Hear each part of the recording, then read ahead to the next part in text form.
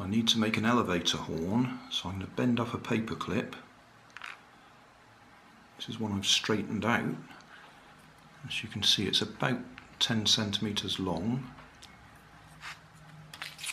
I've marked the centre, and I've also marked 12 millimetres either direction. And I'm going to fold it. Oh, I'll do it.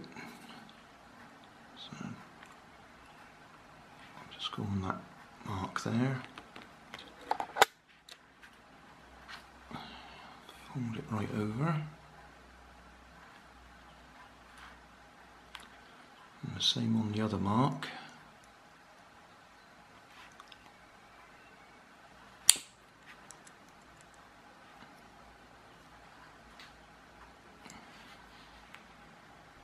like that and then on the centre point.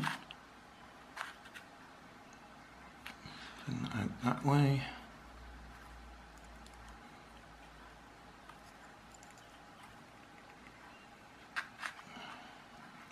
That that way. So that's the basic shape. I need to tighten these loops a little bit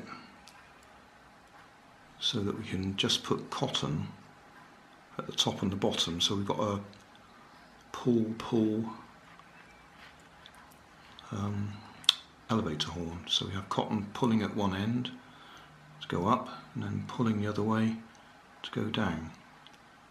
So I need to make those bends into neat little circles. I might put a bit of solder on there just to seal it up. That's the end result.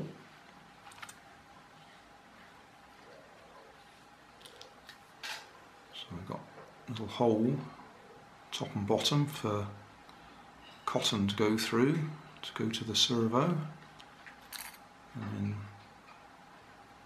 these angled bits will go into the back of the elevator So we go up and down.